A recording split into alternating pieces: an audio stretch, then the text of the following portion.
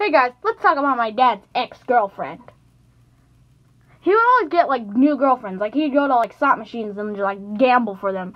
And then like in big Las Vegas signs it'd be like, it's the date and then you know screw OK Cupid. And she'd pop out of the slot machine and be all like, Hi, we next date for the next two months.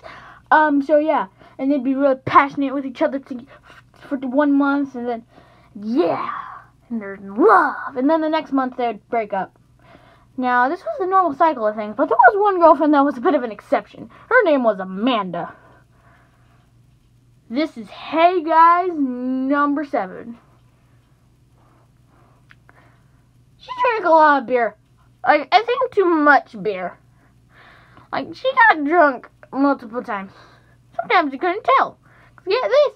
She named her third son first name Arson, middle name Nick. Which spells out arsenic. You don't you shouldn't be drunk while you're naming your third child, lady. Or man. Okay? And there and she beat our butts in Mortal Kombat, okay? Like she was mashing buttons and all sorts of stuff.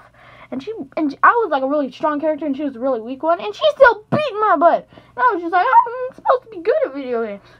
Found out the next day she was drunk. Yep. She was drunk. I couldn't win Mortal Kombat to a drunk person. Okay, now that doesn't top the all-time story. Because one time she basically called up her ex-boyfriends, and while we were at the skate park, our dad came along and he was like, "Ah, hey!" She called up all her ex-boyfriends and they overran our house, and we were like, "What? What the? What the? What do we do?" So we didn't know what to do, and so we just like tag teamed on our um, scooters and bikes. We hopped in the truck and drove off. We had like twenty dollars to live off of. And it and t- living off twenty dollars for an entire day is not fun, let me tell you. So we walk into 7-Eleven because it's cheap. It's cheap. And the lady's all angry at us. She's like, "Why?" But when we drank that Slurpee, it was heaven. I walked out because that lady. I did not like that lady. Like it was mean. And so we're probably like freaking screwing around on the jungle gym and she and we get a call from the police. Turns out that they're about to have like an anime showdown between her and her ex-boyfriends and it's gonna end the world. And then we got back our house, and then that's my dad's ex-girlfriend story.